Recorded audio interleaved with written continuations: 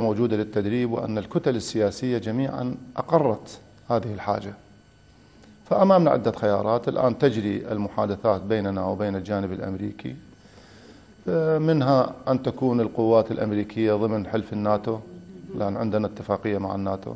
تعمل ضمن مقررات تعمل. الآن قانونهم مطروح أمام مجلس النواب. 300 مدرب آه، للناتو. ممكن أن تدخل وياها مدربين وخبراء أمريكان.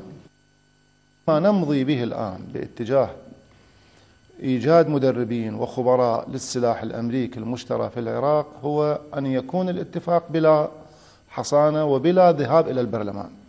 لأننا نعرف وقلنا سابقا للجانب الأمريكي أن أي شيء يذهب إلى البرلمان لا يمكن أن يحصل على موافقة. آخر طرح كان عندهم قبل الكلام الصدر من الكتل 3400 3400 الجانب العراقي يعتقد أن هذا العدد أيضا ما محتاجين هذا العدد الكبير لكنه كم؟ إلى الآن لم يعطي الجانب العراقي الرقم المطلوب. الآن المفاوضات الأكثر جدية هو توفير الغطاء تحت أي عنوان. نعتقد تكون أسهل. أسهل. لا لا طبيعية لأنه البقية الأشياء تأتي ضمن السياقات الطبيعية.